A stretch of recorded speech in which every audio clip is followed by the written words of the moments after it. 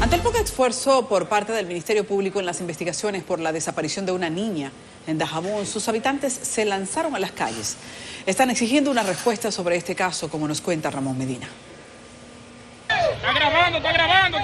Continúa la angustia y la preocupación entre los habitantes de la comunidad Los Miches del municipio fronterizo de Dajabón ante la desaparición de una niña de apenas un año y seis meses, ocurrida desde el pasado domingo en horas de la noche. La desesperación de decenas de personas que residen en la comunidad ha provocado que se lancen a las calles en protesta debido a que según estos, las autoridades del Ministerio Público se han mostrado indiferentes ante la situación y no han acudido a la comunidad a investigar lo ocurrido. La policía viniendo nos tiró lágrimas, bomba lacrimógena. No nos están apoyando. No tenemos, no tenemos acuerdo ni apoyo de la policía. Ni de la fiscal tampoco. La fiscal no nos da apoyo. No hemos visto la fiscal desde domingo a las 8 de la noche. Justicia. Toda la persona, toda una persona que le da respuesta a cada comunidad. Necesitamos que usted se reúna con la fiscal para que nos dé explicación de qué es lo que está sucediendo con la niña. Aquí hay bastantes autoridades. De por Dios, señores. Cada, cada uno de aquí tengamos hijos.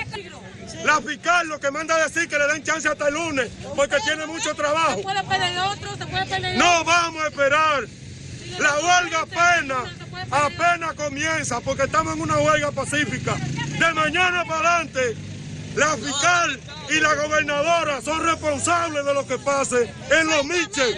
A cinco días de la desaparición de la niña Rosana Núñez Muñoz, aún se desconoce el paradero de la misma y por el hecho la Policía Nacional ha detenido a varias personas, entre estos el padre y la madre de la menor. Nosotros como comunidad es que las autoridades están muy flojas, porque apenas con una, una niña ya desaparecida del domingo, apenas con un año y seis meses, esto es deprimente, y poniendo un horario que a las 3, que a las 2, que a las 3, que a las 10, pero dije porque no hay, no había orden de arresto, tampoco han hecho nada. Ayer agarran gente porque nosotros tuvimos que decidirnos y venía a meterle candela a ese pedacito ahí, para que entonces viniera la policía y agarrara al que había que agarrar.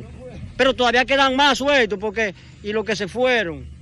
Según ha expresado la madre, su hija se encontraba durmiendo en una habitación donde la había dejado para ir a comprar supuestamente una funda de leche. En Dajabón, capital de la frontera, para CDN, Ramón Medina.